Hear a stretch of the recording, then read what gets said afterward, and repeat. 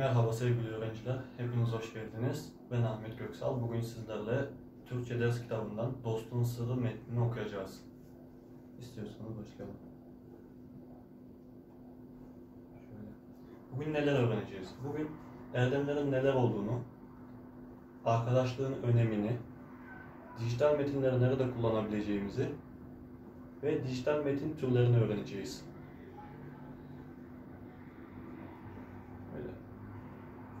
Evet, ilk soru var. Soruya bakalım. Dijital metin denilince aklınıza neler geliyor? Dijital metin denilince aklınıza neler geliyor? Düşünelim. Mesela e-posta, sosyal medya içerikleri, ondan sonra afişler olsun, ilanlar olsun, davetiyeler olsun. Bunların hepsi dijital metin içeri, dijital metin örnekleri.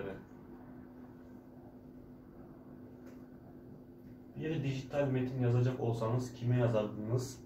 Nedenleriyle beraber yazınız. Şimdi siz birisine dijital metin yazacak olsanız kime yazardınız? Ve yani niçin o kişiye yazardınız? Bunlar yazmanızı istiyor. Nedenleriyle beraber yazın. Evet. Şimdi geldik metnimize. Dostluğun değeri. Selim ile Hakan çok yakın iki arkadaşlarmış. İkisi aynı okula gidiyor, aynı sınıfta okuyor, hatta aynı sırayı paylaşıyorlarmış. İkili okula beraber gidip geliyor, okuldan sonra da mahallede arkadaşlarıyla oynuyorlarmış. Anlayamadıkları dersleri birbirlerine anlatıyorlarmış, beraber öğreniyorlarmış. Araları o kadar iyiymiş ki daha önce hiç küsmemişler ve darılmamışlar birbirlerine. Kavga etmemişler, kötü söz dahi söylememişler. Bir gün öğretmenleri sınıfa yapmaları için grup ödevi vermiş. Ödevleri sınıftan herhangi bir arkadaşlarına e-posta yoluyla mesaj yazmakmış. Selim her zaman olduğu gibi yine Hakan ile beraber yapacaklarını düşünüyormuş. Ama Hakan Selim ile konuşmadan Elif'le anlaşmış. Selim bu duruma bozulmuş ama belli etmemiş. Bu olaydan sonra Selim Hakan'dan bir özür beklemiş ama Hakan özür dilememiş. Araya soğukluk girmiş ve ikili eskisi gibi bir araya gelmez olmuş. Beraber ders çalışmayı, mahallede oynamayı bile bırakmışlar.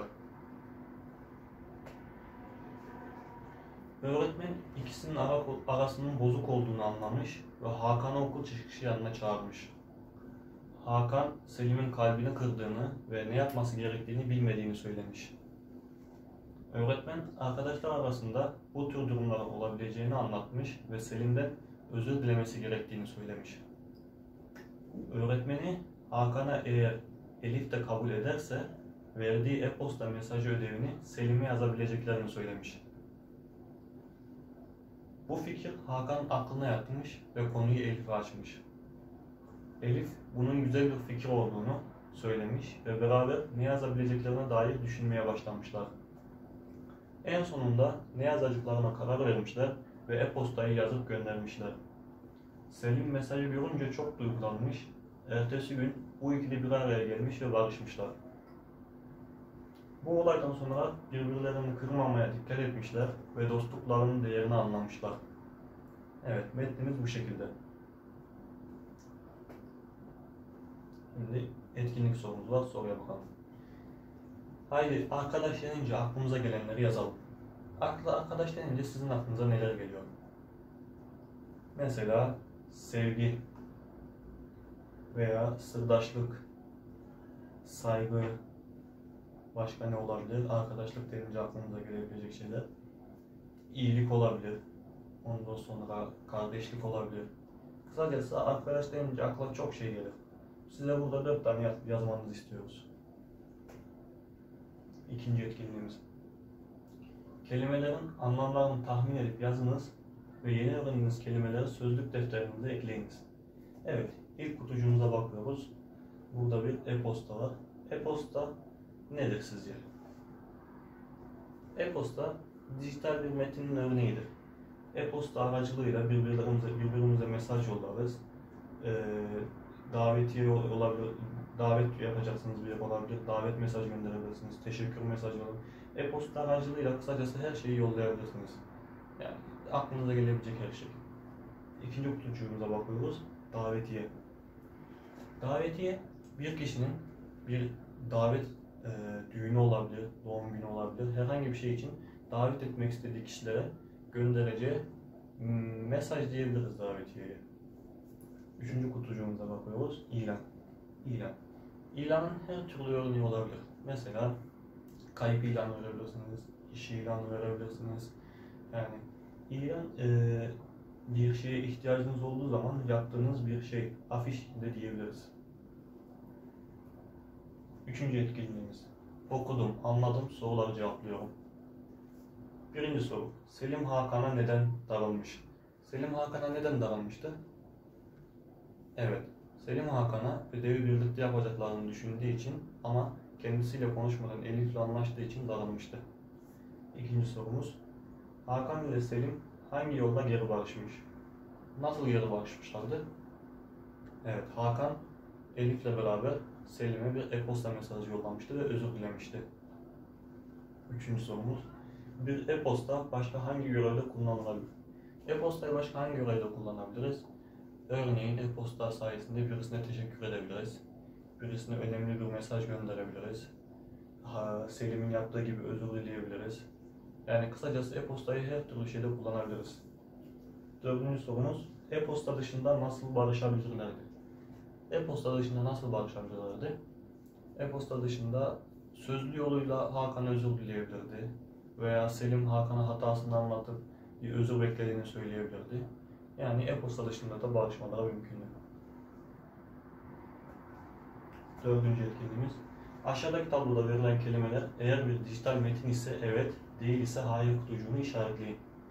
Burada 5 tane örnek verilmiş. Eğer bunlar dijital metin ise evet, değilse hayır işaretliyoruz. Defter. Dijital metin mi? Hayır. Davetiye. Sizce davetiye bir dijital metin mi?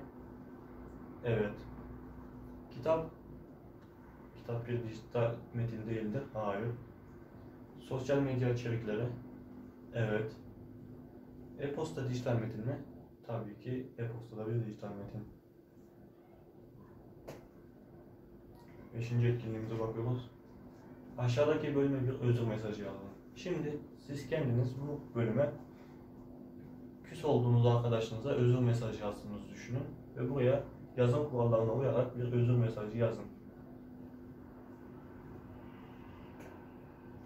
Altıncı etkinliğimiz.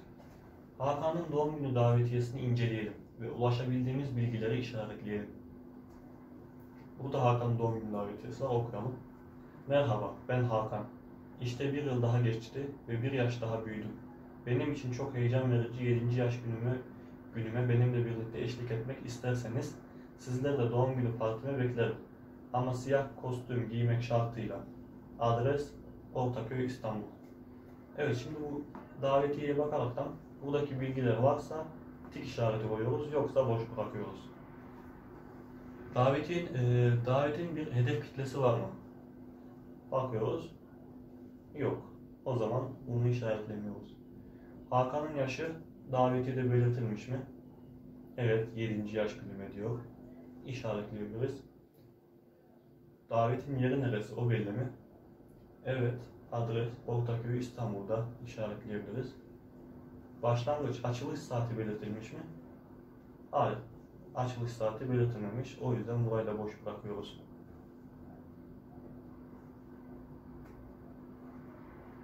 Yedinci etkinliğimiz. Bir doğum günü davetiyesi de siz hazırlayın. Şimdi kendi doğum gününüz olduğunuzu düşünün ve bir davetiye hazırlıyorsunuz. Neler yazmak isterdiniz? Ne yazardınız? Kime yazardınız? Nasıl bir şey yazardınız? Aklınızdan geçen her şeyi buraya, bu alana yazınız ve tamamlayınız. Yazım kurallarına dikkat edelim. 8. etkinliğimize bakıyoruz. Dijital metinleri gönderirken veya alırken kullandığımız 3 aracın görsellerini çizerek isimlerini yazınız. Buraya 3 tane alan verilmiş ve bu 3 alanda ayrıca e, dijital metinleri gönderirken veya alırken kullandığımız 3 aracın görselini çizerek e, anlatmamızı istiyorlar. Mesela bilgisayar, telefon, o tarz şeyleri buraya çizeceksiniz. Altına da çizdiğiniz şeylerin isimlerinizi yazacaksınız. Dokuzuncu etkinliğimiz. Metinden alınan kelimeleri anlamlarıyla eşleştirelim. Burada dört tane kelime var. Burada da dört tane anlam cümlesi var. Bunlardan doğru olanları birbirleriyle eşleştirelim. Mesela birinciye bakalım. Birbirini yakından tanıyan ve birbirlerine karşı sevgi, dostluk ve anlayış gösterenlerden her biri. Sizce bu ne olabilir? Evet, arkadaş olabilir. O yüzden arkadaşla bunu birleştiriyoruz. İkinci cümlemize bakıyoruz. İnternet üzerinden gönderilen dijital mektup, elektronik posta kavramının akronimidir. Küsmek olamaz, barış da olamaz, o zaman bu e-postadır. Bunu da birleştiriyoruz. Uyum, karşılıklı anlayış ve hoşgörüyle oluşturan, oluşturulan ortam. Bu barışla denk geliyor. Barışla bunu işaretliyoruz. Ve küsmek de darılarak, gücenerek yüz çevirmek, konuşup görüşmez olmak, ilişkisini kesmek anlamına geliyor. 10. ve son etkinliğimiz. Aşağıdaki haritayı tamamlayalım. Dijital metin. Dijital metin kime gönderilir? Sizce dijital metin kime gönderilir? Dijital metin akrabaya, eşe, dosta, arkadaşa, sınıf arkadaşına, iş arkadaşına, mahalle arkadaşına, komşuna, kısacası, kısacası herkese dijital metin gönderebilirsiniz. Hangi amaçla gönderilir? Birisine teşekkür etmek istersin gönderebilirsin, özür dilersin gönderirsin, davet yollarsın gönderirsin, bilgi vermek istersin gönderirsin. Yani her, her türlü amaçla gönderebilirsiniz bunu. Bir dijital mesaj yazalım. Şimdi bu bölüme de sizden bir dijital mesaj yazmanızı bekliyorum. E, kime göndereceğinizi siz seçeceksiniz. Hangi amaçla göndereceğinizi siz seçeceksiniz. Bu satırları dolduracak şekilde bir dijital mesaj yazalım. Evet, tema değerlendirme çalışmaları. Dijital metinlerin hayatımızda sağladıkları kolaylıklar nelerdir? Ne de olabilir? Yani dijital metinler hayatımıza her türlü kolaylık sağlıyor diyebiliriz. Birbirimize mesaj yollarken veya iletişim kurmak için. Sosyal medyada dijital metinler karşımıza çıkıyor, orada kolaylık sağlıyor. Her türlü şey söyleyebiliriz. İki, daha önce dijital metinlerden herhangi birini kullandınız mı? Sizden buraya kullandıysanız evet ve hangilerini kullandığınızı, kullanmadıysanız da boş bırakmanızı istiyoruz. 3. Dijital metinlerin neler için kullanılır? Dijital metinleri neler için kullanılır? Onu da sizden buraya yazmanızı istiyoruz. Evet çocuklar, çok teşekkür ederiz. Bugünkü dersimiz bu kadardı. Hepinize iyi günler.